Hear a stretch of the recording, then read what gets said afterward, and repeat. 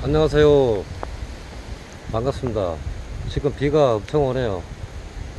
근데 비가 와도 뭐 괜찮습니다. 반가워서 그래요. 왜냐면 이 사과나무는 사연들이 참 많아요. 아, 바람에 넘어지고 자빠지고 제가 이 구철에서 심었는데 올해 이렇게 사과가 이렇게 큼직큼직하게 이렇게 달려주네요.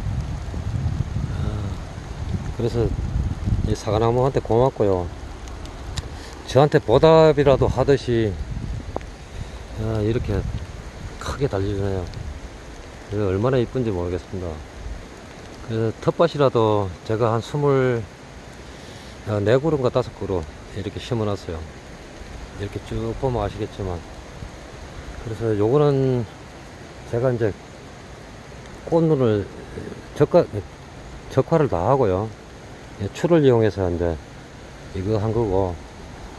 이래 보시면 알겠지만, 야들은 지금 4년생이에요, 4년생. 어, 주인이 없는 그 사과나무를 돌보지도 않고 그런 나무를 제가 이렇게 이제 캐다가 올 봄에 예, 예, 심었어요. 작년 제가 10월 달에 기농했으니까 늦가을이잖아요. 예, 겨울까지 그냥 이렇게 저렇게 할 일 없이 있다가 그 안타까움을 보고 제가 이렇게 사과나무를 이렇게 심었어요. 그런데 참 야들이 저한테 이렇게 보답을 해주네요. 지금 나무가 머리가 가기 때문에 예, 4년, 4년 된 거라도 오래 심어, 오래 심었기 때문에 예, 오래 많이 달면 안 돼요. 그래서 이제 지금 이렇게 수영 잡아놓은 것도 보면 이렇게 전부 다 이제 내년에 이 꽃눈 형성, 이 꽃눈 유도 이렇게 해서 전부 다 이렇게 사과나무, 사과가 달릴 그런 자리입니다. 올해는 한 나무에 보통 뭐 두 개, 세 개, 이렇게 달았지만요. 이렇게 보면, 한 나무에도 보면, 이렇게 큰 게 있잖아요. 이렇게 큰 거 있는 반면에, 야, 요런 거는 왜 장나무는요. 요거는 수, 수정이 잘못된 겁니다. 수, 수정이 잘못됐고요. 이렇게 이제 하고 이렇게 좋은 것은 수정이 잘 된 거고요. 이제 이제 색깔이 이렇게 들어오죠. 이 홍로입니다, 홍로. 홍로. 추석 전에 나가는 이제 홍로요. 그, 이제 요것은 자들보다도 이제 한 5년 차인데요. 아, 요것도 나무가 고생할까 싶어서 이렇게 몇 개만 이렇게 달아놨어요. 아, 지읒들을 이용해서요. 이렇게 이제 몇 개만 달아놨고요. 세 개.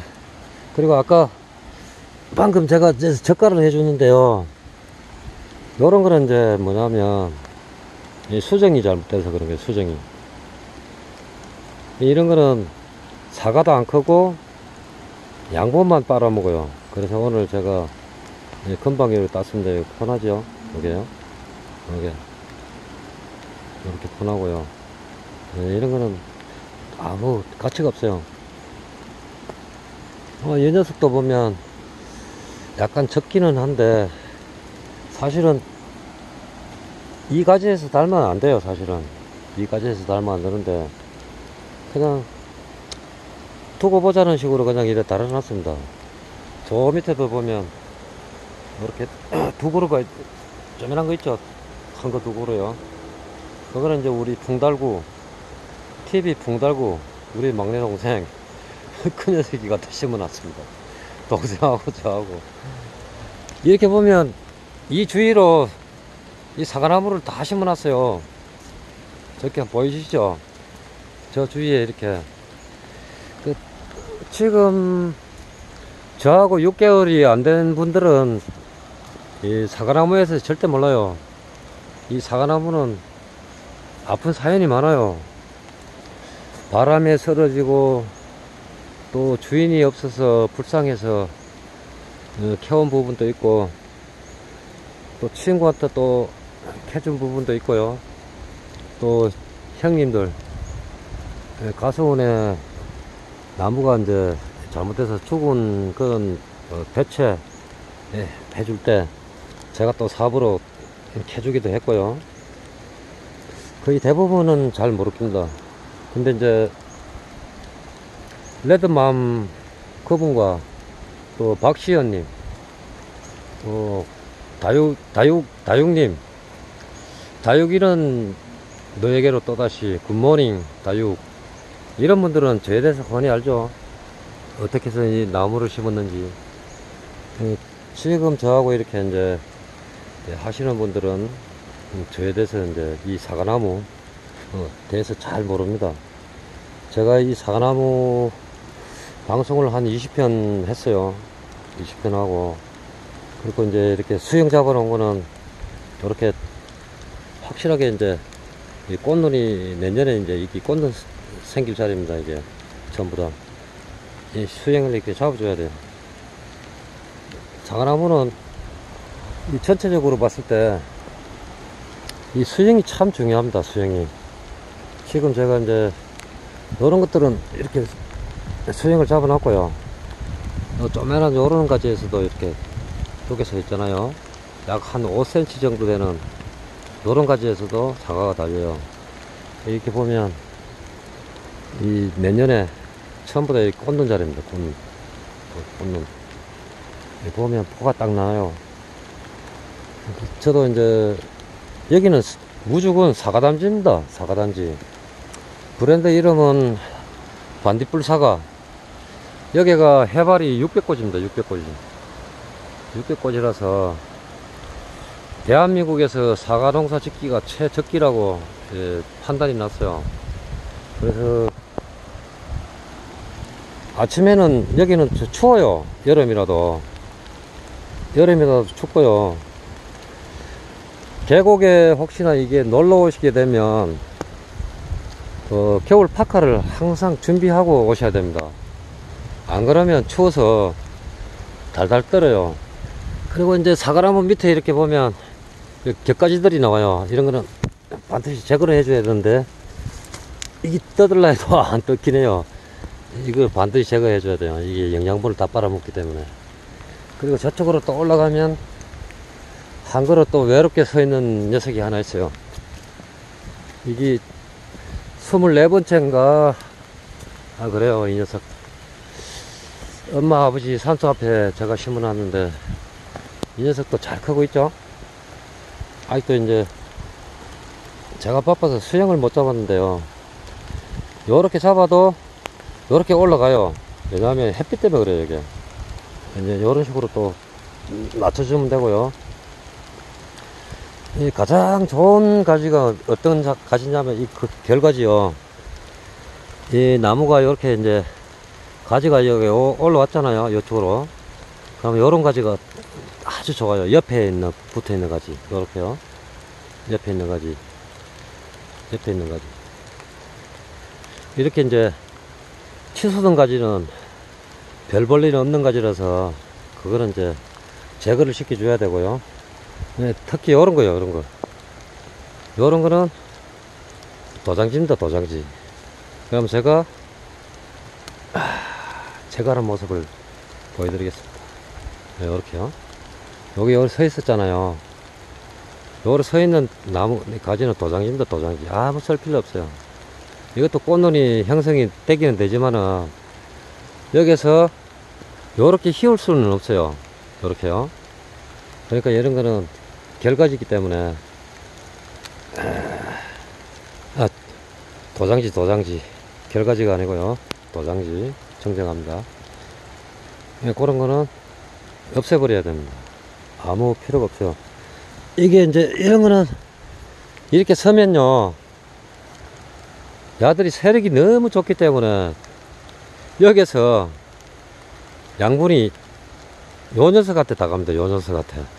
그러니까 옆으로 가는 이, 이 녀석한테는 안 가고 여기서 관이 막히는 거예요. 여기 이제 수도관처럼 여기 이렇게 여기서 막히고 이 녀석을 못 크게 만드는 거예요, 요게. 이게, 요게요. 요게. 그래서 요런 거는 제거를 시켜주고, 이제, 요렇게, 요렇게 이제, 만약에 요렇게 붙어 있다면 아주 좋은 가지입니다. 뭐, 금상첨화입니다. 그 내년에도 요런 데서는 다 달리고요. 어, 한번 봐봐요. 이렇게. 이제 세 개만 달아놨어요. 원래는 달면 안 되는데, 꽃을 다 제거를 시키는데도 늦게 피가지고 인원들이 이렇게 달려주네요. 이렇게, 색깔도 이렇게 들어오죠. 이렇게. 봐봐요. 제 키하고 비슷합니다. 제 키하고 비슷해요. 지금 한 뭐, 1m 한 70? 사과나무 그래요. 그렇고, 요런 가지가, 요런 가지요. 봐봐요. 지금 요거 잎을 제거를 한번 시켜 볼게요. 여기서 이제, 요렇게 나갔죠. 요렇게 나갔죠. 요, 옆으로 이렇게 붙은 가지가 아주 그 사과나무에는 진짜 좋은 가지입니다. 정말 좋은 가지. 그러니까 이제, 아까도 이야기했지만, 요렇게 이제 올라간 가지는요, 이거는 이렇게 딱 제거를 시켜주면 돼요. 그래서 아무 필요 없어요, 그런 거는. 그런 거는 아무 필요 없고. 그리고 이제, 가지도 보면 어떤 가지에서 무엇을 어떻게 달 것인가, 그 농부님들이 이제 공부를 해서 그렇게 하시면 될 것 같고요. 음, 저는 이제 작년에 이제 기농에서 그 앞동네 동생한테 참 많이 배웠어요. 장목반. 그 관리자로 계시는데요. 그 저한테 이렇게 기뜸도 해주고 또 유튜브 하는데 많은 도움을 줬어요. 그래서 제가 그 동생한테 또 교육도 받아요. 그 동생이 참 저보다 이제 세 살은 어리지만 참 아는 지식도 많고 그 사과나무 그 동생이 6천평에다가 단호박 3천평 그래서 그러고 또 고추 천평 하죠. 젊은 젊은 동생이 참 고생이 많아요. 근데 시골에서 어, 그렇게 이 사과 농사를 하려면 한 만 평 이상은 해야 그래도 좀 돈좀 되고 라고 뭐 천평 뭐 요, 요렇게 이렇게 해갖고는 그냥 먹고 사는 정도 뭐 조금 저축하고요. 한 만 평 정도 되면 아마 중소기업 그 정도는 될 겁니다. 그래서 저도 하려고 그랬는데 처음에 이 투자가 너무 많이 들어가요. 너무 많이 들어가기 때문에 엄두가 안 나서 또 기계 한 대 사는데 3천만 원 이상 들어가야 되고 어, 500 주시면 거의 한 1500. 뭐 이래저래 하다 보니까 엄두가 안 나서 뭐 올해는 포기하고요. 근데 사과나무는 음, 그렇게 하지는 않을 거예요. 그냥 이렇게 텃밭에서 이렇게 즐기고 한 스물 몇 그루 이제 한 100그루 됩니다. 그 정도 해서 어, 달리면 또 친구들하고도 나눠 먹고요. 동생들한테도 나눠 먹고 그런 취지에서 이제 한번 해봤습니다. 아까 고추밭에 갔다 왔는데요. 고추가 바람에 이렇게 가지가 불러져 가지고 아까워서 내가 이제 가져왔습니다. 집에 갖다 놓으면 이게 이제 태양으로 이제 말리면 되거든요. 그래서 그럼 되겠고요. 오늘은 텃밭 예, 사과나무 아 이런 것이 있구나 하는 것을 갖다가 한번 보여드렸습니다 네 감사합니다. 즐거운 주말 되십시오. 아유 비가 엄청 오네요. 저 홀랑 다 젖었습니다. 이 우리 동네 700고지 이상 됩니다. 그래서 기후도 아주 서늘하고 강원도 이런 데 하고는 비교가 안 됩니다. 그 아침에는 추워요. 저녁으로도 춥고요.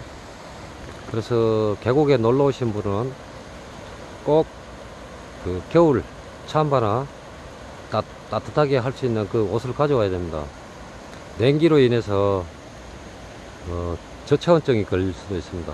그러니까 꼭 기억하세요. 감사합니다.